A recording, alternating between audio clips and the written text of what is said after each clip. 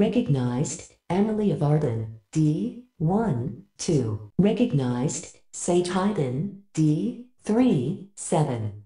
Hello, team. Today in the Watchtower, we welcome Sage Hyden, the writer and video essayist behind the Just Write YouTube channel, with videos on Star Wars, the MCU, Batman, Avatar The Last Airbender, and so many other great films and television series. Sage does an incredible job analyzing the writing and storytelling techniques of visual media. With amazing deep dives similar to our own Canary debriefs, his work strives to not only help us understand stories better, but to hopefully help us become better writers along the way. Sage, welcome to Whelmed.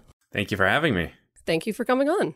This is so much fun. Um, this is like my favorite show in the world, so Oh, it's great to. It's it's up there for me. It's uh it's it's a favorite. yes. Same same for all of us over here at Whelmed. Uh, before we begin, I want to remind everyone listening at home that our discussion episodes draw on anything and everything related to Young Justice, including both seasons of the series so far, the comics, and the video game. So if you have not seen, read, or played, or listened to us talk about all of the material and are spoiler wary, consider this your warning. And with all that out of the way, let's dive in. So I touched on a few things in my intro, but uh, tell us a little more about who you are and what you do.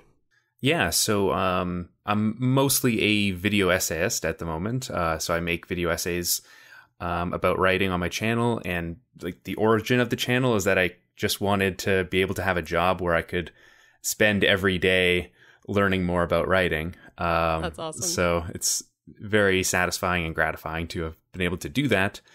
But uh, I'm also like, as as you said, I'm a I'm an aspiring writer, I guess myself, and uh, hopefully the the channel is just a way to kind of help me get get to being a, a non-aspiring writer like a, yeah Well, I think I think your content is fantastic. I love your videos. Um, oh thank you so much but uh, can I also ask a bit more about like what your history with film studies is? Uh, are you kind of self-taught, or where did you start with that? i'm actually my my background is in li- english literature Yeah. so i went to university for that and i mean it's pretty transferable um, it's a lot of the same kind of stuff especially if you're like in the film studies as opposed to like film production right it's pretty much uh, the same a lot of the, a lot of similar theory but other than that as far as film it's completely it's completely self-taught um, and just kind of applying what I know about uh, story structure to film and uh, reading as many books as I can about about screenwriting and um, and anything related. So Well, there you go. Uh, and so, when did you first see Young Justice? Was it in the original run on TV, or did you buy the DVDs or see it on Netflix? Or uh, I saw it on Netflix. Cool. Um, I think it was in like 2014 that I saw it. Um, and I was just like an instant convert to the series. I think I binged it immediately and and then went and told all of my friends about it and got them to watch the show. It's kind of a weird show to pitch your yes, friends. true. Because it's like, hey, there's this young adult TV show about the DC sidekicks that's actually really great. and uh, they kind of give you side sideways glances, but then they go and binge it and like immediately tell you, yeah, sorry, sorry, I doubted you about that. Yeah, no, it, it can occasionally be kind of hard, especially when you're like, well, what's the show about? I'm like, well, technically it's about teenage superheroes, but it's actually about everything. so, yeah, that's the amazing thing about it. It's the it's the whole DC universe in in one show. Yeah. absolutely. Uh, so, what was your history with DC Comics or just comics in general before you saw Young Justice in 2014? Oh man, that uh, Is that a rabbit hole? It's uh yeah, actually like um like when I was 3 years old, um I wore a Batman cape for like a full year straight. so like for a year of my life I was literally Batman. yeah, and actually like I think my I think my oldest memory is uh my my mom was like making popcorn and um it, it started smoking and we had to evacuate the house because the fire fire alarm went off and I ran back into the house to get my Batman action figure. uh, uh, and I'm not I'm not even sure if that memory is actually true. like my mom tells me it's not, but uh, but you remember. It's true to I you. remember it, right? Like it could, de- it could definitely be like a confabulation, but it's my oldest memory. It's my oldest made up memory too, I guess. Um, but m- maybe I was outside of a burning building and holding. I was definitely outside of a burning building and holding a Batman action figure. So that works. That works. And so you were you were into comics from a very young age and into superheroes in DC from a very young age? Yeah, I was into I was into superheroes for sure. I never really actually got into uh, the comics. Um, I've read like a bunch of the like more well known graphic novels, but Yeah. uh, really for me it was the it was the animated DC universe because I think like when I was like I'm pretty sure the Batman animated series was coming out like right then too, so I was watching at a young age. Yeah. It's how a lot of people get into it. It's great. Yeah, the animation like DC animation has just always been a notch above. Like Absolutely. all of the the animated series and like a ton of the movies as well are just fantastic. Absolutely. So I, as I said before, I am a big fan of your video essays. Uh, so I can't wait to talk about storytelling and Young Justice with you. And one of the things that you mentioned when we were originally talking about this discussion episode was the idea of the core teenage team on the show being better characters than their league counterparts often are. So let's go into that. Uh, and I think we should probably start by defining uh, what better means in this context. Because when we were initially talking about it, I'm assuming that you mean like narratively stronger and more compelling, but Yeah, that's actually that's a perfect uh uh perfect definition there. There's just more you can do with them from like a like just when you're looking at the characters from base from a baseline, it's just easier to tell a story about Superboy than it is to tell a story about Superman, right? yes. and like it's a strength of the show that the characters are actually weaker right Yes. Yeah. so you know it's much more compelling i think to watch a story about someone who can't fly and like really wants to be able to fly than you know superman's perfect and they have such they have such difficulty writing him in in the movies um and i think you mentioned that like you haven't seen many of the dc uh movies Yes. I people people know I've seen I've seen quite a few, but around Man of Steel, I kind of kind of dropped off a little bit, and then saw Wonder Woman like four times, and Right. then dropped off again. Yeah, well, those were the, that was the time to to drop off if there was a time you were gonna pick. but yeah, I completely get what you mean that the the characters being weaker allows them to have more conflict that they have to face. They can't just get out of any situation so easily, right? Yeah, for sure. And like, it's not just about um, a character having physical weaknesses, but it also comes to like you know they have more internal conflict as a result of that. Yes. So it's it's so great to put up like in Young Justice, you put up these great iconic characters like Superman and Batman, and you idolize them. Like the perspective of the show is to like look up at these characters Yes. and say like they are perfect, and you can just tell so many interesting stories of these younger characters who want to be that, but they just can't. Like they're just not quite there yet. And then sometimes they draw like an immense amount of conflict out of like, but wait, do I even want to be that? Yes. Like uh, there's that great episode with um, um, with Black Canary when she's like giving therapy to all of the uh, Yes. all of the characters. yeah, you know what I'm talking about. That like that episode is uh, is phenomenal, and um, it has that great revelation there that like you know is it, does Robin really want to be Batman, right? And and um, there's another scene where Batman is he's kind of getting interrogated by the League for how he's raised Robin, right? Yeah. And he's saying, "I'm doing this so that he doesn't become me," right? Like there's so Uh, no, all of that I completely agree, and I think disordered the therapy episode with Black Canary is such an incredible example of like what you're talking about of showing how all of these characters are dealing with so many different and complex struggles for each of them, and that episode kind of gives them each a platform to talk about them for a little bit. So, like, what specific narrative elements to you stand out as like facilitating this idea of the characters kind of being more narratively compelling than their League counterparts? Is it like the relationships between the characters or like the relatable struggles that they go through or as we said like the fact that they're not as powerful as the adults like are there any ones that kind of like stand out to you in particular Yeah, it's a great question. I mean, it's a it's a combination of all those those different things, but like I think it really um like it all adds up to a series where you can actually tell stories about the main characters where in a lot of the other uh, DC animated shows, you're actually not telling stories about Batman or Superman, Yeah. right? Like the like those old shows, like most of the episodes are actually about the villains. You, you know, Batman is just a he's like he's just kind of the vehicle that we're riding in and we're riding next to to view the actual story of you know a flawed character who is going through some kind of struggle and turns civility right like Yeah. that's like the premise of most of those episodes but by having your protagonists be characters who are you know they're they're weaker they are insecure about their weaknesses um, and also you know it's the fact that the fact that they're children um, and teenagers gives the writers um, a way out of um, having to have the superheroes be amazing and perfect, right? So like all of the like this the main like the mainline Justice Leaguers in uh, in this show, they're all kind of like stoic and very responsible, Yes. right? they are all kind of like sort of the same character, kind of boring, which is which is okay, right? Yeah. Like because the story is not about them. But when you have these younger characters, you know, the audience will forgive uh, Miss Martian when she makes you know horrible, horrible mistakes and you know makes terrible uh, choices, Yes. uh, does things that are immoral. Some of them will. Some of them will go Yeah. online and, and scream for years about how they will never forgive Miss Martian. maybe yeah, maybe that was the bad character.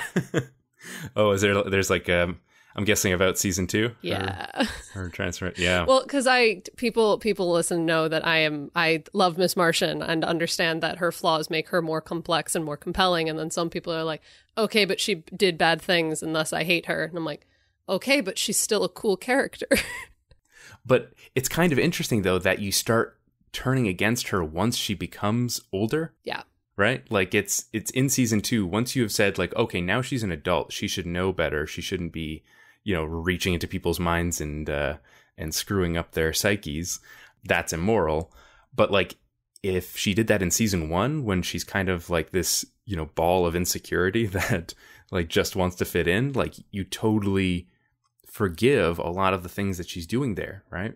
Yeah, she's a really fantastic character. And I mean like, you know, what what a comparison from like um Martian Manhunter who like I defy you to try to write a story about Martian Manhunter and it's tough. He's uh he's a much better supporting character, yeah. So we were talking a bit about all of this and about how you were saying that the the Justice League in the show is kind of kind of boring just because they aren't the main focus of the show. They are much more supporting characters and something for the team to play off of rather than like core characters on the show. But do you think that some of those compare those uh, compelling narrative elements of like the reasons that the team are so compelling as characters kind of extends to the Justice League and makes them more compelling in this universe? Because like like some of the relationships like Batman and Robin, we talk a lot about them and how I personally this is one of my favorite interpretations of Batman in that we joke and call him Bat Dad, but in the fact Yeah. that he's this father figure and is much more involved as a father figure is because Robin is the center of the show. And I find that really interesting and some of the other relationships on the show. So do you want to go into that a bit about like the narr- the ways that the adults actually do play into the narrative and facilitate those compelling narrative elements and how the team actually kind of makes the Justice League more compelling in that way? Or do you see it like that at all? For sure, yeah. Like when I say like they're they're boring characters, I don't see see that as like a criticism of the show. It's it's kind of just acknowledging that like they're they are playing their role in the story perfectly. Yeah. Um, which it actually takes an enormous amount of restraint. Uh, which is kind of it's amazing about this show, even though like you know they're a little bit unrestrained in that they want to put like every single thing from the DC universe into the show. And, you know, I feel like we're probably going to have a season two conversation a little later about, you know, they might have bitten off a little more than they can chew uh, in that season. But, you know, to have Batman in a show where he is that's a great phrase for him, Bat Dad. um, he's he's just being the father figure, and you're not kind of indulging in the awesomeness of Batman, like you like almost all Batman media does, right? Like we fetishize Batman so much in our popular culture, and this show really doesn't. Like he has a couple of moments, but really he's there to serve the purpose in the narrative where he is the father figure who everyone is attempting to be like. Yes. And but yeah, I do agree with you that he is more interesting than he otherwise would be because of how interesting Robin is, right? And Aqualad is, or Aquaman is a more interesting character because of his association with Aqualad, who is my favorite character. I, it might just be the voice acting, but Aqualad, man, like really, really spoke spoke to me. Yeah, no, Khary Khary Payton is fantastic, and I think Aqualad is, as a character is written so well, and you get to see that fascinating arc for him from like being the stoic leader to like slowly realizing that there is a lot of stuff going on that he's just hiding behind, uh, and all of that with him, and also comparing Batman and Robin's relationship to like uh, Connor and Superman, who have a very different relationship, and to me, in a lot of ways, their relationship makes both of them so much more compelling as characters because it shows these immense flaws in Superman that you rarely get to see in a lot of other Superman media in the mm-hmm. the relationship of him being so uncomfortable with this concept of him having a clone son or later kind of coming to terms with thinking of him as more of a brother than a son. So do you want to go into some of that maybe? Yeah, it's actually kind of amazing how they've managed to ride the line perfectly with Su- Superman in in this series cuz it's so easy to get Superman wrong. Yes and this show, you know, the thing with Superman is he has to be, he pretty much has to be perfect, right? um, but yet you still have to find, like, as a writer, you still have to find ways that he's not perfect and you know to you have this like really strange conflict of okay how is he going to react to a clone version of himself that is now like thinking of him as a father? Yes. And that's perfect because that's a role that um, we haven't seen superman in before right? The kind of you know, maybe I'm forgetting something in, in Superman lore where there's a better version of him being a father, but we don't often see him in that role. I mean, he's kind of like the universal father figure, but like to have someone who is like, I'm your son, you need to parent me. You can you can get away with Superman making mistakes in the initial portions of that relationship before he learns, you know, what what is actually the moral choice. Yes, absolutely. Uh, and then there's also like Black Canary, which we brought up before, of with her with the therapy scene, the therapy episode that we love and talk about a lot because it is such a great character moment for all of them. And mm-hmm. like her relationship as kind of this both mentor and mother figure and emotional core for a lot of the characters who don't have families. I think also kind of plays into that on both sides of making her more compelling and allowing us to have scenes like that therapy scene that makes all of them more compelling characters through her. Mm-hmm. It's it's an interesting choice to pick her as the person who's going to do that, because uh, you could have picked any Justice Leaguer to to fill that role. So it is it like in a way it's kind of interesting that like you know or it's almost cliche that it's like let's pick the one female character to be the motherly character, right? Yeah. But on the other hand, like the way she's handled is perfect in that she's she's offering like such great advice and introspection to these to these characters that need it. And also they're handling this character who is someone who is usually pretty sexualized in a lot of uh, a lot of our comic representations. And she just isn't at all here right? She's yes. it's it's yeah it's pretty uh yeah, it's it's a, a good choice there, especially because this version of Wonder Woman, like if you're going to pick a female character for this position, Wonder Woman is still kind of it's the version of Wonder Woman who isn't quite human yet. Yes. You yeah. know, she's yeah. she's this Amazonian. She speaks in you know in hero voice. Yes. Um, so to have like a real person in Black Canary handle that role is good. Yes. Uh, and like going back to that therapy scene, the one thing that keeps coming up in my mind is near the very end of that episode when Superboy has his moment where everybody thinks he's just being too tough to have emotions and his actual reality is that he's so conflicted about the fact that he was happy because he got to be Superman for a minute and how her response is I don't have an answer for you uh, and how that kind of shows through these characters who are the teen characters who are so much more human than the Justice League in this series and in a lot of incarnations, showing how she's just as human in that moment because she's been giving everyone such good advice, and then she gets to Superboy and she's like, I have no answers for this, and it mm-hmm. allows both of them to be so human and so vulnerable in that moment. Yeah, it's a it's a great decision um, to not resolve a conflict like that to, to just kind of leave it hanging and complicate it more than just you know sweeping it under the rug. It's kind of the amazing thing about this this show in general, the way it's it manages the way it manages to balance serialization. Uh, it's telling a continuing story while still being extremely episodic. Yeah, and to have you know characters like Superboy dealing with issues from p- past episodes and having it like dovetail perfectly into whatever's happening in this episode is it's just really good writing. Yeah, absolutely. And I know I personally, when I talk a lot about teenage superheroes, because I do that a lot, both on this show and in general. I've run Yeah. I've run panels and talks about like this subgenre. And the thing that I talk about a lot is that these stories, these kinds of stories work best when uh, you allow your characters to be teenagers first and superheroes second. And I think that, that this show also does a really good job with that. Would you agree with that assessment? Yeah, absolutely. I think actually that's kind of the distinction between seasons one and two for me. Yeah.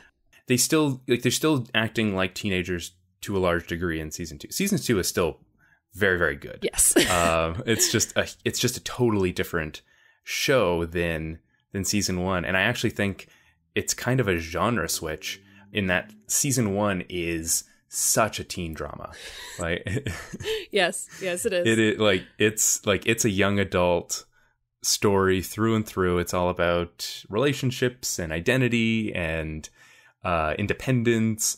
Actually, like the first episode is called Independence Day Yes. Yes, it is. just it's like perfect but so like, like that whole season is is just about like those intimate character relationships and it's much much easier to get like personally involved uh with those characters in those episodes and in season 2 it's I, I kind of think you could say they sort of drop the teen drama genre and it's it becomes like a um it becomes a a spy thriller Yeah. there's a lot of you know uh backstabs and betrayals and yeah Double agents every which way. yeah so like um i was thinking about this prepping for this like both both genres are very uh focused on identity as a theme. Yeah. but it's in a completely different way. It's into it's sort of in a different way i guess. You know in the first season you have these three characters who are dealing with you know who am i? Am i uh, you know superboy is trying to figure out if he's superman or if he's something else and artemis is am i my am i my father or am i part of the team and then there's miss martian as well all of which amazingly again just dovetails perfectly into a single episode Yes. um like the like the the second to last episodes of these of this show are always just like phenomenal in how they bring everything together Absolutely. but yeah, so you have all of those um, identity issues going on. But then you have in season two, it's Aqualad, but he's not really as conflicted as the characters in the first season are. Like he has a few moments with his father, but it's you know he's being a double agent. So like I de- like who is who he's pretending to be, and and like the the psychological toll of pretending is weighing on him. But it's very it like the tone of it is so so different. It's so much darker and yeah Yeah. No, I complete I completely agree with all of that because Aqualad's Aqualad's story in season two is much less about deciding whether or not he is his father or if he is himself, and is more about just kind of maintaining that mask the entire time. If that Mhm. makes sense. yeah like is he adult enough to be able to pull this crazy con off Yes. right as opposed to act like actually being conflicted where like the first the season one characters were I was so mad. I was so mad when he came out and he was uh, in the black manta. Ugh, yeah, Oh yeah, no, we all were. We all were. Those first couple of episodes of season two were very much a roller coaster of where is everyone, and then once we're told where they are, we're like, but that's not where I wanted them to be. yeah, yeah. it's like, where's Red Arrow? He's here. He's just a disaster. I'm like, I didn't, I didn't want him to be a disaster. Can we help? He's like really one of the most compelling Oh, characters on the show too. Like, Absolutely. eh, like both versions of him are are uh, are great. Like Aqualad, like Aqualad's my my character, right? Um, so like seeing him be evil for a few episodes and then not really getting to spend time with him or having to, getting to see him interact with the other characters as much was it's it's disappointing, but like it- it's doesn't it's not a it's not a mark against the show that they wrote, right? Yes. Like you can't like. It's funny because I just made a few episodes on uh, the Last Jedi, and there's a very similar thing going on here. But uh, you can't like write your own fan fiction and then like criticize the show for not being that, even though like y you know in your bones you feel like you should be able to do that. Yes, Oh. yes. Because uh, like with the with the Last Jedi videos, because I have watched some of them. You've talked about how there are so many characters happening in the Last Jedi, and how that uh, contributes to just trying to narrow down what story arcs are actually happening. So with these themes that we've been talking about, how do you how do you feel about season two and the season two team and all of the characters they add? Do you feel like they're just as compelling and just as uh, kind of like better, as we've been saying, than the Justice League, or is it more complicated than that? Yeah, it's definitely it's definitely more complicated. Um, like. Blue Beetle, Blue Beetle is great. Yes. He's he's fantastic. He actually like dominates a lot of, Yeah. of the season. It's crazy how much that kind of takes over everything. But other than him, if I find it hard to point to another character where that's the case, like there's moments where it's like that with Beast Boy. I think Impulse also gets quite a bit of screen time for his arc. Yeah, for sure, for sure. He'd be the he'd be the third one there. But I think the show kind of it, it definitely um broadens its, itself out like a little too much. Like if you watch that uh I rewatched the season 1 or sorry sorry, the season 2 pilot Yes. and like it's a like half of like half of that episode goes by before we're even like with characters where we actually care about, right? Yeah. Other than like the opening little thing with uh, Clayface there. And how even that immediately starts with dropping in like four or five new characters and just kind of throwing their names at you. And you're like, okay, wait, what? What is happening? I'm trying to catch up. Yeah, no, like season two, it's definitely the show for comic nerds. Um, I hope that's not disparaging in any way, but like it's like if you know all the mythology um, and who all these people are coming into it, then that helps a lot. I mean, like this, like this is the show that made me care about Blue Beetle for the first time in anything, right? Like I haven't seen him in anything, so like there's definitely like the show definitely succeeds at that. But like when you have characters like like there's the episode when they have the all fem- female team Yeah. which like i feel like that one i feel so bad criticizing that one because it's like on the one hand it's like great we have an all, we have an all female team but like you're also thinking you know why couldn't it be you know rocket or zatanna Like the characters that we know and are familiar with. yeah yeah exactly um like it's kind of tough to just kind of drop wonder girl in here and drop uh you know barbara gordon in here and it's like Yeah. or, you know we haven't really gotten into them yet right like i want the sh- like i want the show to be about them eventually but you know it takes uh it takes some some build up they could they definitely could have done like five seasons just like in the vein of that first season building up to what they did with season two Yes. Um, and with with like Wonder Girl is always kind of my go to example of one of those characters in season two who like I like the concept of her. I just wish she had had more kind of, and I think it is in that vein of talking about how we were saying season two kind of dropped the teen drama element a bit more. And I think that kind of took away from being able to develop those characters as much as they could have been developed. And like, hopefully, I'm hoping we'll see like some more of that in season three to kind of make Wonder Girl and Tim and all of them kind of more than what we got in season two. Like the joke I make is the fact that season two ends and we find out that apparently Wonder Girl and Robin have been crushing on each other the entire season, and I'm like, when did that happen? when when was this happening? We got nothing. I'm like, if this was season one, I would have been getting episodes left and right about how you two were being cute in the background, but here you're just suddenly together. Okay, I'll go with it, but Yeah, that's that's to- that's totally true. Um, I yeah, I had that exact same reaction. I actually forgot that it was something that happened until I recently rewatched that episode, and I was like, oh, oh yeah, oh okay. Um, I guess that's that's another relationship that exists. It's like, okay, that happened. Uh, oh, I was just gonna say, I think you can also get like uh, romance overload if you have just too many romantic pairs on one show. You can call that the uh, arrow problem.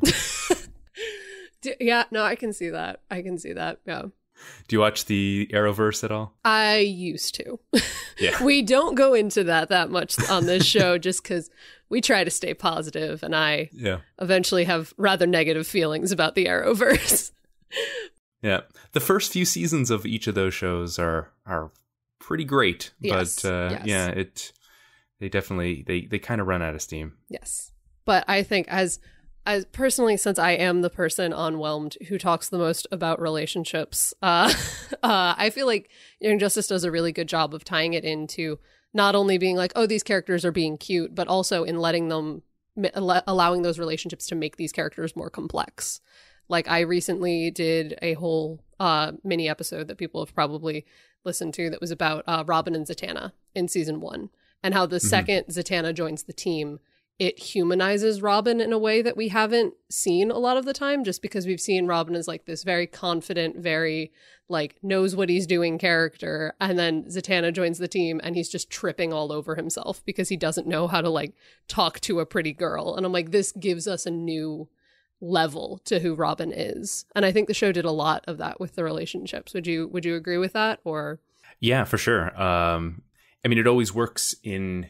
It's always a good decision in writing to introduce a character that will reveal a different side of an existing character. yes. and yeah, yeah, that sh- that show does it very, very well in in season one, and then like I think that's kind of the problem in season two is that you're introducing a lot of characters, but they're not really in you know they're not informing you about any of the existing characters in any interesting way, and y- the problem with that is that the audience already has they already have their favorites. Um and you know they're they're very uh they're ge- an audience you know and i'm like i include myself in this but we're jealous with our favorites right? Like we and Yes. we only want to hear about them. Um so if you're going to put someone new then they have to matter to the people we already care about in a like pretty significant way like the like robin and zatanna.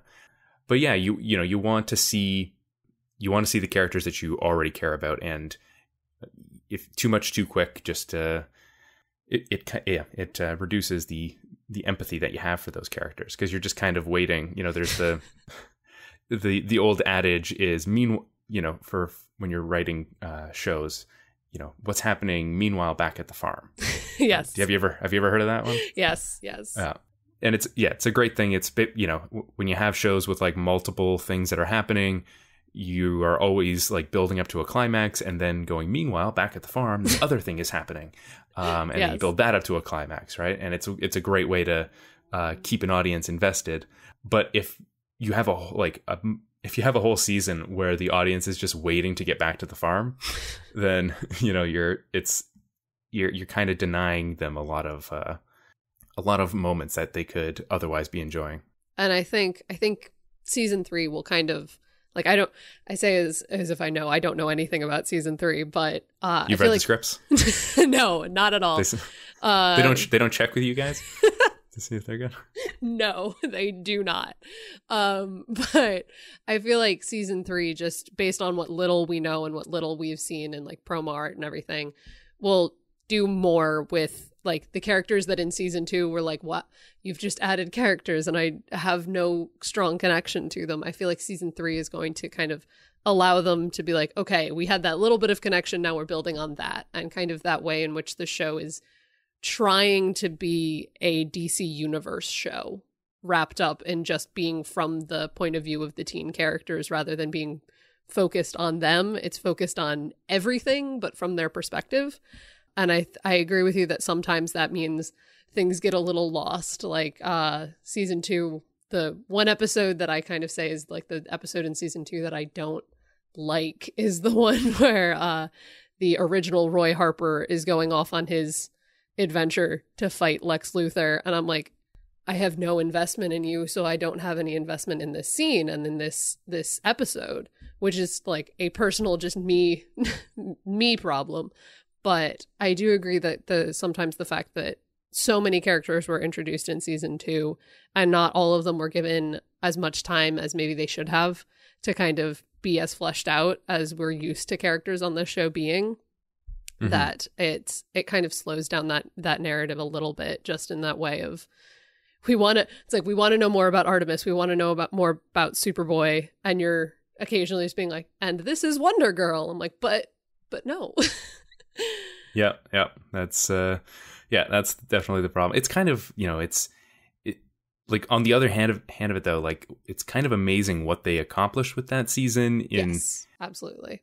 uh like it does like it is still it is still good I'd, I'd say right? Like i still enjoy quite a few quite a few of the episodes and like the overall plot of it is i mean it's it's super it, it's it's a, this might actually be another criticism actually. Like it's it's super it's super convoluted like the way like what the like the light is luring the it's working with the Kroloteans to lure the reach to lure Mongul to get an alliance with dark like there's like a lot Yeah. going on there There's- right? it's one of those things it's one of those plots that doesn't make a ton of sense until it all kind of clicks together at the very end and you talk about it with enough people that you're like okay i think i get it now Yeah, the the overall plot in season one was um like it's actually just as convoluted, but it's convoluted in a way that uh, works for the episodic nature of the show. I like to describe it as like an accordion structure, where that season could have been, you know, six episodes long, or could have been sixty episodes long. And the way they were writing it is that every single thing that happens is somehow related to the Reach's plan. Um, and then you have like six different MacGuffins that are all merged into one MacGuffin, where you have like a thing that can attack nanotechnology and magic and all this stuff at the same time. Um, so it's elegant in a way where you know you can write as many mini stories as you want and still have it feed into whatever um, whatever Savage's plan is. where season one you're allowed to have those episodes where it seems like you're just having an adventure of the week until you have that little like stinger moment that's like here's how this ties into the main plot whereas all of season two is consistently only main plot and nobody Yes. ever really goes off and has a little adventure and has a little character development and comes back everybody's just hyper focused on here's the main plot any adventures you're having are off screen Yeah. Yeah, that's true. It's like it's yeah, very much just um the adrenaline in that season is like all the way to the max from the very beginning. Like Earth is in danger and everyone's ru- rushing around doing different things. which is not necessarily a bad thing. It's just so different from like what season one initially sets up. Yeah, and it's it's so interesting how that how much that affects your viewing of a thing, um, because you've been you've kind of been primed to expect a certain structure and a certain amount of things to be happening, and as soon as that sh- that shifts, it like it is you you have a negative reaction to it because it shifted, not because it got worse, right? Absolutely. Yeah. Like me me personally, people people know I've talked about it because I watched the show uh live. I was I watched it live when it was on Cartoon Network. And the one week you've ended season one and everyone's a teenager and everything's fine, and then you start season two a week later with like no time to even kind of ease yourself into this concept. Uh, and it's just suddenly everything's different and we're five years later. And I'm like, what? Oh Mhm. no. And I kind of just had like that emotional, visceral reaction immediately of like, this isn't what I signed up for. And it took me like half a season before I was like, okay, it's good. It's just different. It's just different. That doesn't mean it's bad. Okay, let me let me catch up and be okay with it. Search my emotions. Yeah, it takes uh, like you have to ref- like reframe how you're looking at it. Absolutely. It's it- like it's not in it's not uh, it's not inherently bad. You have to change. uh, which you know sounds like being an apologist for it cuz but it really is it's only it like it's only a problem if like you are someone where it's very important to you that it stays the same, right? Yeah, like if yeah. that's something where you know I expected this show and um and if it's any if it's different at all then it's then it's bad but yeah you can definitely adjust to it i guess Um, but earlier, looping back around to something we were talking about a bit earlier, um, was you also mentioned to me that you like really enjoyed like the theme of identity that runs through a lot of the series, and I know we've touched on it a bit, but I kind of want to loop back to it and talk about it again because it is so important. Um, so how do you think that like those teen themes of self discovery and like changing identity in the form of like Artemis, Miss Martian, Superboy, and all of the other characters too, but those are the three that kind of stand out when you talk about this uh contribute to like that complexity of these characters Um, I think I may have like spoiled some of the things I were like earlier about my my thoughts on it. Uh, because yeah, it is kind of like uh, um, I think they come like for me, it comes back to the idea of it being uh, uh, a teen teen drama. Um, but it's what's like, and to even come back to like the first thing we were talking about, uh, where you know these characters have um, very deep emotional problems that they're that they're dealing with, and the story can um, the story is a reaction to that as opposed to um, us watching um, like us watching Superman watch someone else go through that, right? Um, actually, like, have you ever seen? Um, this might be like a little bit of a tangent to the, to uh, go to for it. discussion, That's what but, that's what uh, happens. We're yeah. fine with it. Have you ever se- have you seen the Paddington movies? I haven't. I haven't. No? I've heard many good things, but I haven't seen them. Oh, they're fabulous. um, I've actually watched. Um, there's another video essay channel um, called Patrick H. Willems, um, who he does a series called "Explaining Blank Thing." Uh, to my parents, right? So he'll like explain why like the Fast and Furious franchise is actually really fun. uh, and his parents are like kind of um like baffled about what he's talking like have Yeah. no idea what he's talking about. Um, so he did one on Paddington, and then I went and watched Paddington, and that show is, or sorry, that movie is like the way I would suggest someone to write a Superman movie. Which sounds absurd, right? Uh, yeah, Superman I- should be I more like it. Paddington. Expl- Yeah. can, do you want to go into that and explain why? For sure. Actually, like this might actually be a spoiler for an upcoming video of mine, but uh, no, no, no need to spoil your own content if you don't want to. No, no, no. It's totally okay. I mean, who knows? I brought it up. I want to talk about it. But no, so like in Paddington, Paddington doesn't have a character arc at, at all. Like he's just good. He's like the best person ever and he sees the goodness in other people. And the great thing about those movies is that everyone in those movies reacts to Paddington and has an arc because of him, which kind of breaks like you know in like in writing advice. One of the first things anyone will tell you about how to write a story is like you have to have character arcs. Um, your protagonist needs to have a character arc, and like Paddington is like a great example. And there's a few others of stories that can do this, where the main character doesn't have a have a character arc at all, but they cause other people to have character arcs. And I'd love to see a Superman movie where that's the case because uh, like in movies the only really successful way we figured out to tell a Superman story is to tell his origin story, right? Just because like that's the part of his life where he's growing and uh, learning who he is. So there's like some character change that you can fit in there. But it'd be fantastic if uh, someone could just write a story where Superman doesn't change at all and he just makes everyone else around him um, a better person. Um, that would be, you, you know, instead of beating up a city, I just, I would like to see that. So- Uh, I know we've talked about before uh, on our show about the idea of like good Superman stories aren't about whether or not Superman is going to beat the bad guy because we know Superman is going to beat the bad guy. He's indestructible. That's just what's going to happen. It's about how he feels during and afterward.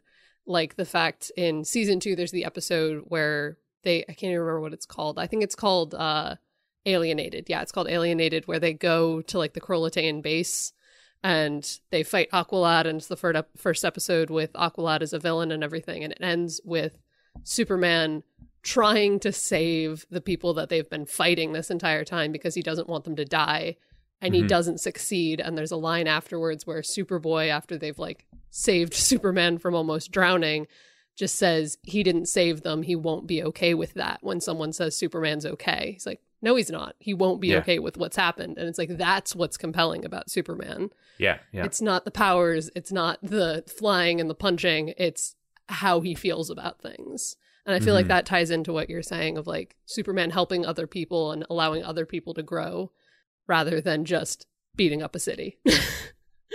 Yeah, no, that's uh that is definitely like he doesn't tolerate any kind of moral failure. Uh like that's the that's the classic uh version of of Superman that uh, we're kind of uh, we're kind of missing right now because um, we don't have a third season of Young Justice yet, and we don't have him in the movies. Um, I'm sure he's in the comics, but but yeah, it's ba- like basic Captain America is our is our generation's Superman. I Yeah. think. Yeah. and with that idea of like that classic idea of Superman not tolerating uh moral moral failure makes as that being like the kind of cultural perception of him as a character makes his inclusion in Young Justice and the way he's treated in Young Justice so much more interesting because he is treated as a flawed character who makes flawed decisions constantly and how that mm-hmm. increases as we've been talking about the complexity of the characters he's dealing with because like there's that episode early on where Superboy finally tries to reach out to Superman and Superman just flies away and leaves and that one moment tells you so much about both Superman and Superboy.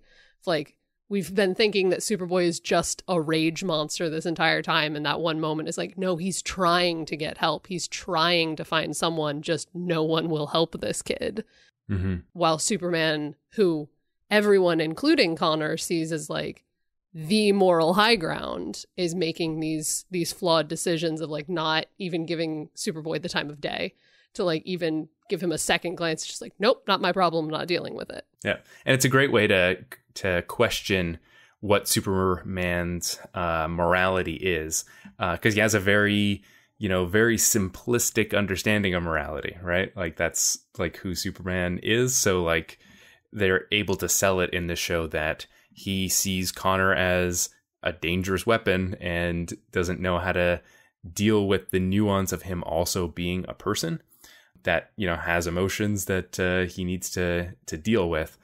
And that's actually that's another great way to take a superman story is okay you've got this guy who's always doing the right thing but you know sometimes there's more there are moral gray choices to be made as well. That's what the captain america like the recent captain america movies handle so well. Yeah but actually just to circle back around to your your question there about uh, like the theme of identity in uh, in this show i think like one of the things that really aids that is what you're just saying about how he's how Superboy is like this rage monster. but it's it's a great way to set up a character where you just highlight one characteristic like like you under like you triple underline it as like it's their defining trait. Um and it's it's the same thing with uh with Miss Martian where you take a you take someone who you think is just like friendly and nice but you just like underline that insecurity that she has about not fitting in and just like draw every possible conflict out of that.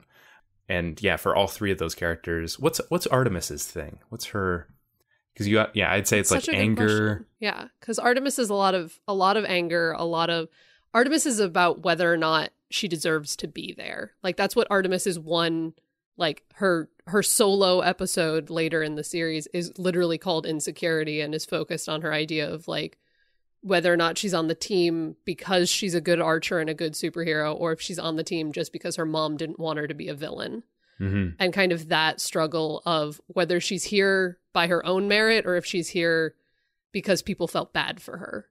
Yeah, yeah.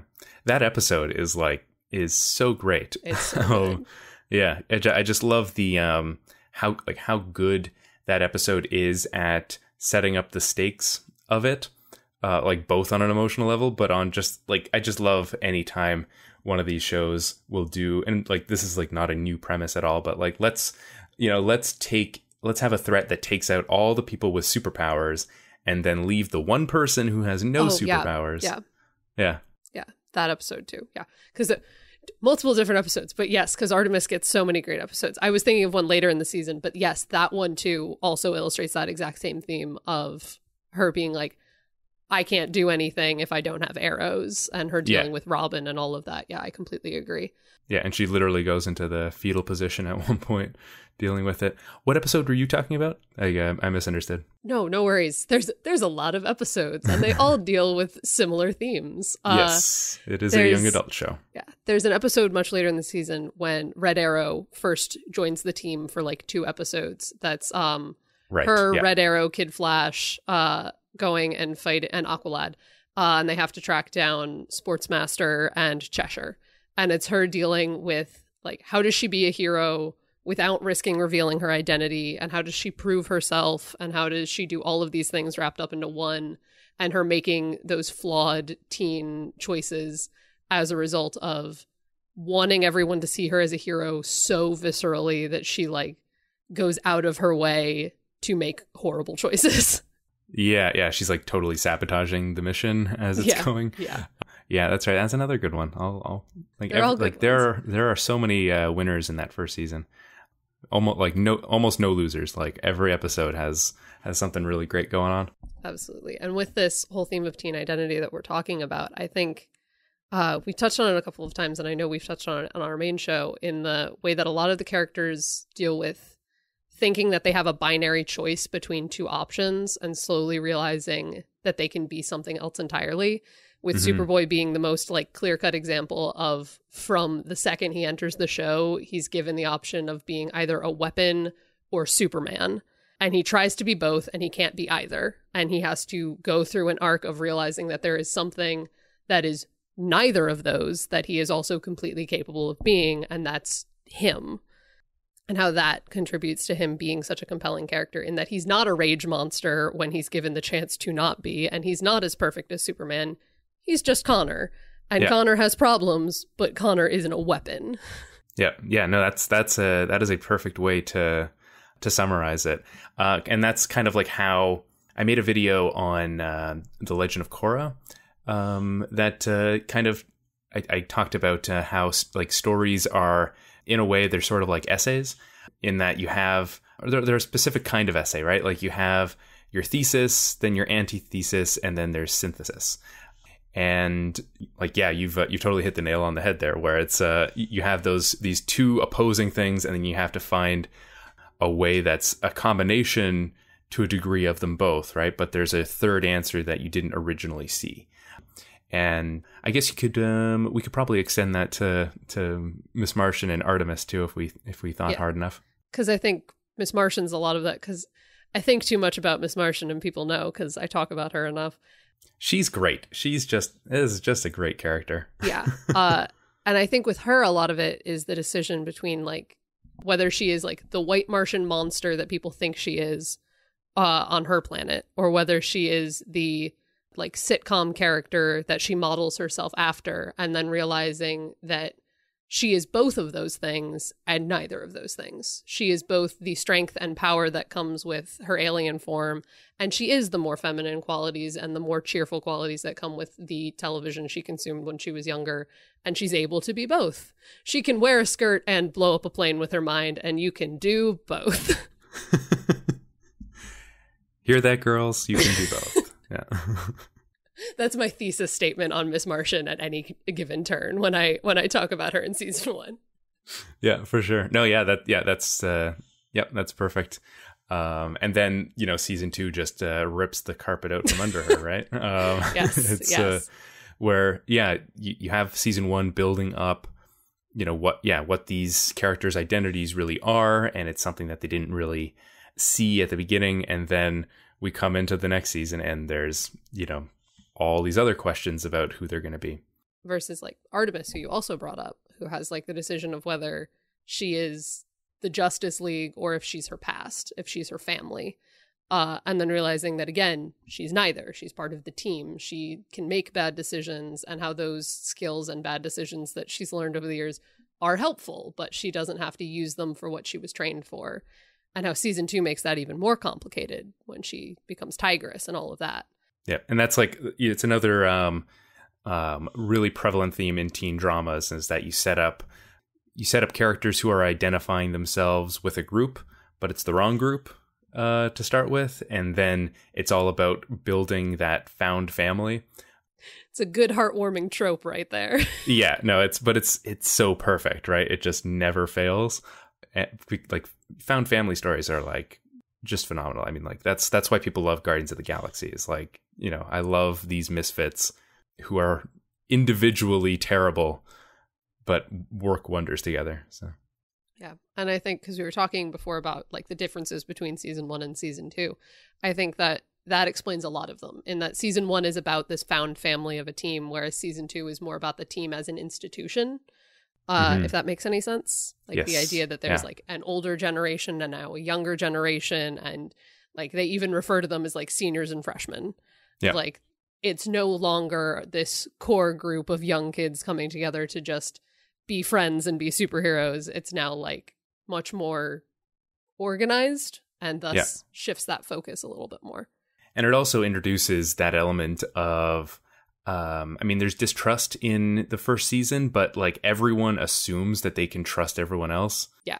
to start with in that in like early on in that season is like we're like we are together we're a family and then there's elements where they start distrusting each other but you know they uh they come back together as a family and then once it becomes like you're saying as an institution now it's you know there's all these competing agendas and uh, you know uh, grayson isn't telling people what the plan is and you know the younger kids are are pissed off about that and that weird combination of like the younger kids are are kind of like trained to like you respect Nightwing, Nightwing's your leader, so they just kind of go with it. But it's all of the people who are his friends from season one that once they find out he's lying, it's not like it's not any of the younger kids who like get mad and like I can't believe Nightwing lied to us. It's it's like Superboy who corners him in the hallway and is like I can't believe you didn't tell me this. yeah I've been your best friend for 5 years. I've been one of your best friends for 5 years and you didn't tell me this.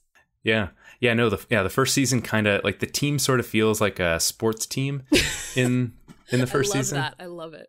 Yeah, um, and like it's very similar to like sports movies, uh, in like the overall arc of how they all come together and win in the end. And then the second the second season is it's a spy thriller in that it's uh it's this this sprawling organization of competing interests competing against another sprawling organization like the organization and then there's the justice league too right and Yeah. so yeah So, question, because this just came to my mind of tying into all of this stuff we've been talking about. How do you feel any of this does or doesn't apply to Captain Marvel in particular, since he is both part of the Justice League, but is also a very young character, technically? Right. Yeah, he gets a few uh few fun moments uh in there.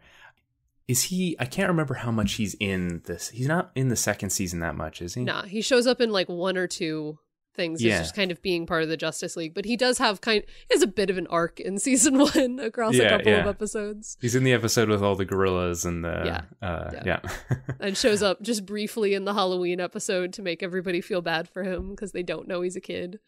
Yeah. Uh, and his his main one is uh the uh, uh misplaced, the one with the world for adults and the world for kids, where right. he can yeah, travel back right. and forth. Yeah. Yeah. I mean, you know, like themes of identity, like it's perfect. It's why like the teen the teen drama genre is like the perfect fit for a superhero story because of like like everyone has an alter ego in a superhero story, right? So you you've just immediately built in this internal conflict of am I this person or am I that person? So you've got that with uh, uh, with Captain Marvel too, um, where he's got to pretend to be an adult, but he's like terrible at it because he's like so obviously a kid. Yeah. Um, such a fun character. they really like he should really be having a movie, like you know, like like like I don't know why they're why they're bothering with uh like they're doing Aqu- like Aquaman's coming now and if Aqualad's not there then it's I don't you know it's it's not It's like, really give it- anything but Give us a Billy Batson movie, please. Cast cast a ten year old as our main lead. I want this. Billy Batson that's a perfect comedic premise I mean that's like that's big but a superhero movie like yes, exactly. it's perfect Um, and with what you were talking about of teen drama being like the perfect platform for teen, for superheroes, I completely agree. I talk about this genre enough in things of when I'm explaining to people why I think this genre is so important to comics in that it allows you to take everything about superheroes to the logical extreme emotionally Yeah. of just going from like yeah, it's fun when you've got like secret identity and you're an adult with also superpowers, but like now take all of the stress of being a teenager and add it to that because Mhm. superpowers become such a great metaphor for like everything happening in high school in some ways of like all of those like changes and social dynamics and everything and you just get to add all of that Plus, some people have laser eyes. It just happens. right. Yeah. Yeah. You just throw all that stuff in for fun. But and and also, you know, with teen dra- teen dramas, you always have a very clear line between the kids and the adults. And it's again like the perfect application to superheroes and sidekicks in in this show. Um, it like it handles that perfectly, and it almost kind of uh, like in hindsight, it almost makes Cap like n- not using Captain Marvel more so- sort of an oversight, like in that he's the one character that is traversing the two realms there. Um, I mean, like you do have an an episode where he is literally traversing the two realms, um, but he could uh, he could really have been um, a, a, bigger part of this that we'd be talking about a lot more. But I mean, you know, the show's pretty busy already. So. I've I w- I've always joked that I would have loved to see more of him in season two when he's 15, but on the Justice League, because there's some level of like you're like, okay, you're you're 10 years old, you're going to be the little kid on the Justice League. Everybody'll look after you, but knows that superpowers you can kind of take care of yourself. Like you're 15 in a room full of adults. That's so much more complicated immediately. right now he has like a black costume and grows his hair out a little bit and angsty Captain Marvel. Angsty Captain Marvel, yeah. I would love it. I would love. I would love to see that, and everybody being like, "Billy, no." Yep, yep. That's the that's the Groot route, right? Just like they did it. Oh, that would be that would be fantastic. Like fingers crossed for season three, maybe. yeah, maybe they not. could. They could. I mean, like yeah, like they haven't really uh, touched him that much since uh since season one. So yeah, I'd I'd be for it. And in that in that same vein of showing like, um, do you have any thoughts about like Zatanna and Rocket and some of the other characters we see who transition from the team to the league to the league, and how that kind of plays into all of these things we've been talking about? How do you think that that kind of like either serves the theme these themes of like teen identity and these ideas that we've been talking about of them being complex characters and how they grow and all of that? Or if you think it maybe takes away from it or just how you feel about that? For sure for sure. I mean i do i have plenty of opinions. Uh, it's i have a, my, my, whole career is based on opinions right now. Um, but uh, um, like I think it's like it was important for them to show somebody graduating from the team to the Justice League. Like it's like one of the first things they handle in uh, uh, in season two. So it, like it makes it makes sense that they'll pick the two characters who you know the the last ones in are the first ones out because we want to focus on the characters who we've been spending more time with. But then we don't really spend a lot of time focusing on them, right? So it's uh like I could see what they're doing, but then like it would have made more sense if the show was still just focused on the the main six uh team members. Yeah, no, I completely agree. I completely understand where you're coming from with that. So, uh, before we wrap up, anything else that you want to say? Anything, any burning thoughts about Young Justice that you didn't get to share? That's a great question. I mean, I was gonna I was gonna ask you what your like. I'd like to know like what y- your favorite episode is because like like I know what mine is like. Okay. Very firmly. Uh, so do you have one? Well, I'm gonna I'm gonna want to know what yours is after this, but my favorite uh is personally is Terrors from season one, uh, and I can I can come up with a very like smart answer of it being about like themes of identity and characters growing and understanding their own problems and like how it ties into the first episodes and stuff like that. But really, it's the very emotional reason of like Superboy and Miss Martian kissed for the first time, and I freaked out as a kid watching it because yay. yeah. Yeah. Uh, but what about you? Favorite episode? Terrors is the one. So I'm just trying to that's the I'm, I'm like looking the it up. Prison, right, the right prison the prison one. Episode. The yes, prison one. Sorry. Okay, yeah. That's Prison uh... Break, uh, all of that. The ice villains show up from the beginning of the season. They come back. We find out they've had a whole plan. Uh, Superboy and Miss Martian go undercover, have to go to therapy for a little while. Crazy stuff happens. Giant prison break. We stop it. They kiss at the end of the episode. I cheer like a five year old because I love them. yeah. that's wonderful. That's a great, yeah, that's a great moment great episode. Uh, yeah, mine is. I mean, like it's because my. I think this is really just like this is funny. It's kind of like an extension of who our favorite characters are. Yeah. Like whatever yeah. episode best features them. So, like mine's like it's um, uh, it's the third or fourth episode, um, but it's the one where they go on a mission and decide who the leader is. Yes. Yes. I think that episode is so well written. Um, like so um, I think uh, it's like Bane's on an island and he's dealing with some kind of uh, uh, super potion, and there's other people in there as well. And the team, you know, um, Robin thinks that he's the leader, but he's not a very good leader at all. And they like the show just like perfectly builds up to this scene where the moment where you as an audience member or at least me as an audience member the moment that you realize oh wait a second aqualad is the leader here is the same moment that the team figures that out like yes. i like i was like perfectly in sync with where their heads were at in that episode uh, just because the episode had done such a good job of dramatically justifying that as the answer especially because it's dealing with that audience expectation that we we talk about every now and then about how everyone going into the show assumes Robin is going to be the leader just because that's what happens in comics. That's what happened in the Teen Titans TV show. Everybody just kind of assumes. Yeah. But the show is like, no, it's gonna be Aqualad. Here's why, and gives you a whole episode that has a fantastic narrative and everything, but is also kind of answering that question of this is why we're picking Aqualad. Yep.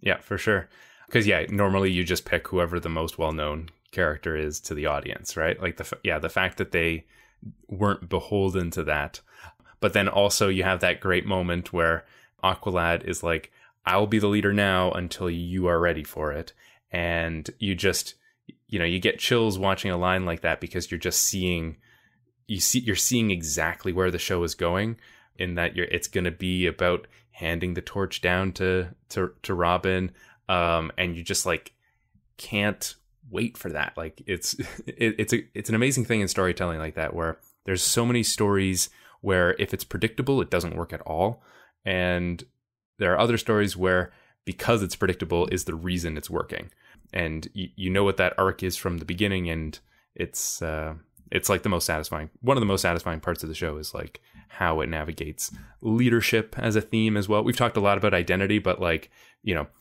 all of superhero media is also like very invested in like what is leadership um and this show handles that wonderfully as well yeah.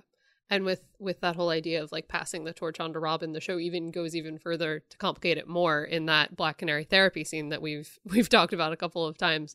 Because when robin says he doesn't want to be batman someday it kind of implies that he doesn't like he's not sure if he wants to lead anymore. He was so sure he wanted to lead the team and then he finally does lead the team and it's horrible. And he's like i don't know if i want that either. And you're like oh we we set up this plot and now we have thrown in another complication into it and all of those ways that the writing just builds on itself every single episode like that mm-hmm.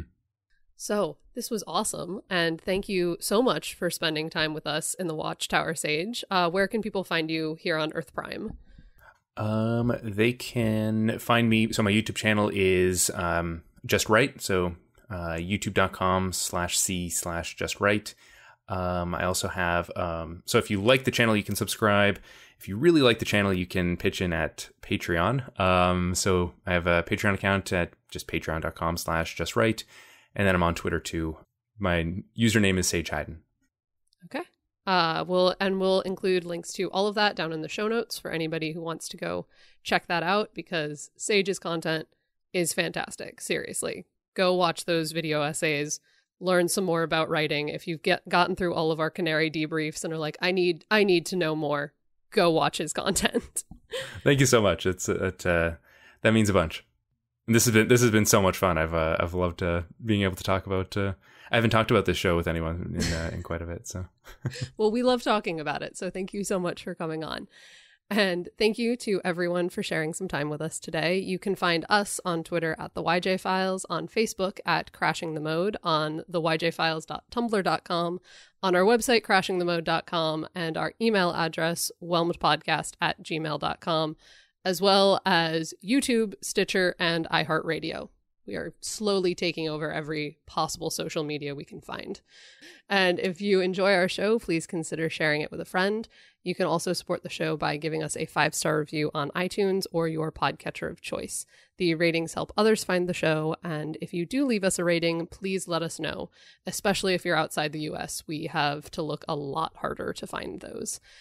Uh, and even though season three has been officially announced, please continue to spread the word to friends and family about the series and use hashtag buy YJ Comics on Comixology to see if we can get uh, some more stories about the team even sooner. Maybe fill in that five year gap. Maybe maybe have some more teen drama going on, and to get yourself up to speed for the season three premiere. And as always, stay whelmed, everyone. You've been listening to Whelmed, the Young Justice Files podcast.